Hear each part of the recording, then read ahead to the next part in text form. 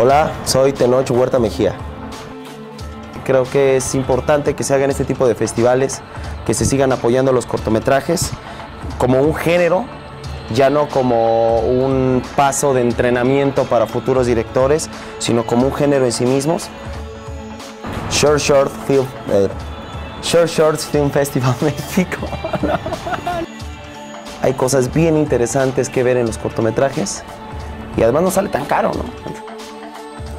En cortito hacer cosas para que las cosas se muevan.